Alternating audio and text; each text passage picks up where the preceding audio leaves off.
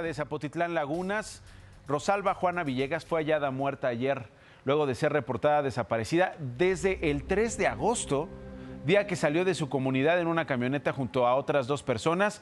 Su chofer también murió, al parecer, en un accidente, mientras que la otra acompañante resultó herida.